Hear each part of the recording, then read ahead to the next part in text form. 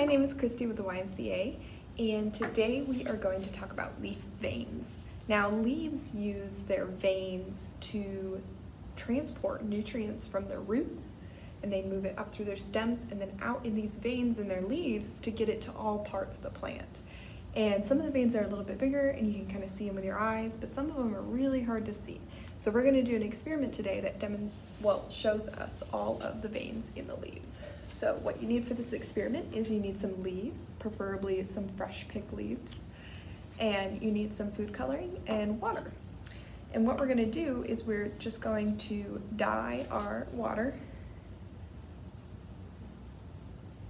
with the food coloring Give that a good mix. And then we're going to put our freshly picked leaves, and you can kind of break them off by the end of their stem so they've just got a bit of stem out. And we're going to put those in the water. And what they're going to do over time is draw water up through their stem and out into their veins. Now, if you look before you put the leaf in the water, you can see some of the veins, but some of them are so, so tiny.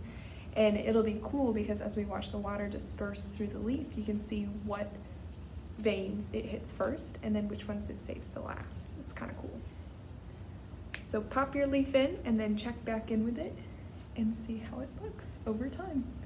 And you'll be able to watch the veins do their work.